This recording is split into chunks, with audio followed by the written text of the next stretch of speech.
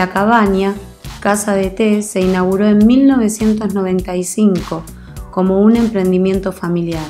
Se encuentra dentro de una exclusiva villa de montaña al pie del glaciar Martial, con vista al canal de Beagle, un lugar ideal para disfrutar de diferentes infusiones y delicias dulces y saladas.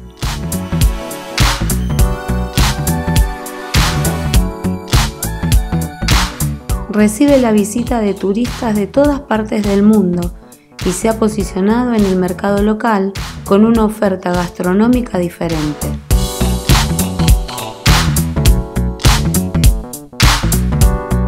Además de agasajarte con sus exquisitas recetas y disfrutar del entorno, puedes encontrar una gran variedad de artículos únicos y exclusivos en su boutique.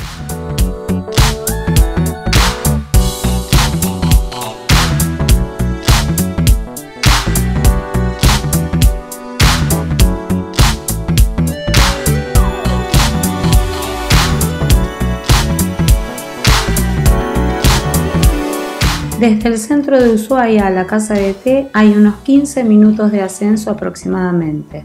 Hay varios medios de transporte, pero hay taxis constantemente subiendo y bajando.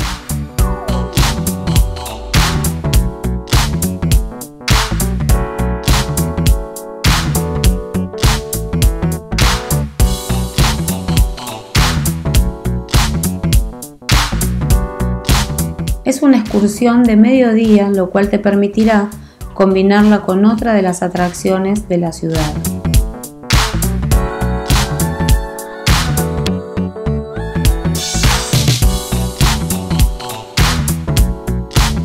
Luego de haberte anotado en la lista de espera, te darán un beeper que vibrará al momento de disponer de tu mesa.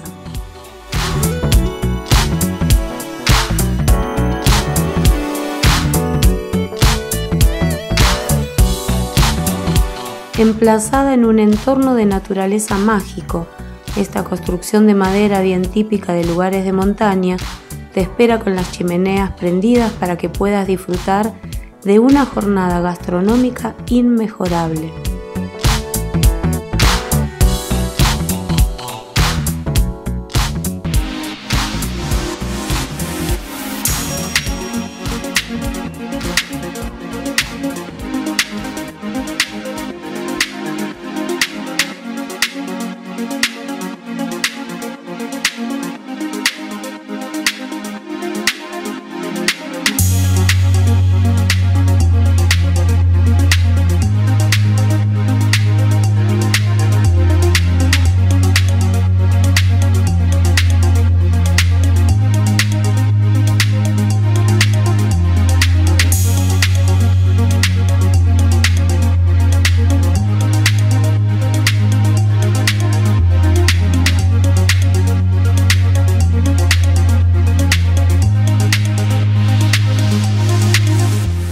En su carta puedes degustar una variedad de té, mezclas especiales, exquisitos cafés con tía María, coñac, kirsch, irlandés, cappuccino, etc. También exquisitas delicias con diferentes mousse, dulce de leche, pay de lima o manzanas, rogel, tarta de frutilla, frambuesa, cheesecake, chocolatón, torta galesa de mandarinas o de crema y damascos.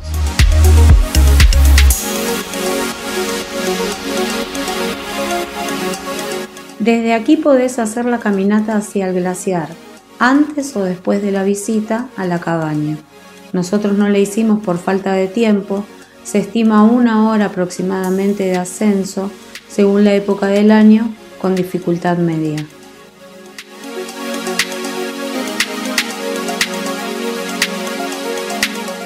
La distancia desde la base de la pista de esquí hasta la cumbre es de 1.300 metros estimativamente. No dejes de seguir todos nuestros videos de Ushuaia donde tenemos todas las excursiones por separado y detalladas con rutas y consejos. Podrás viajar con nosotros por el buque abandonado desde Émona en el Cabo San Pablo la Laguna Esmeralda, el Museo del Presidio, la navegación por el Beagle, el tren del fin del mundo y mucho más.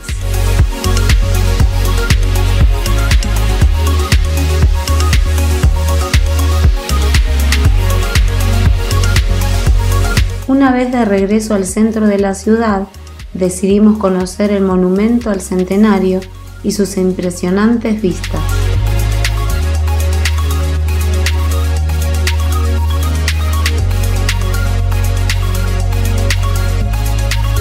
Esperamos que haya disfrutado de las imágenes, te invitamos a suscribirte y seguirnos en nuestras redes. Gracias, nos vemos en el camino viajeros.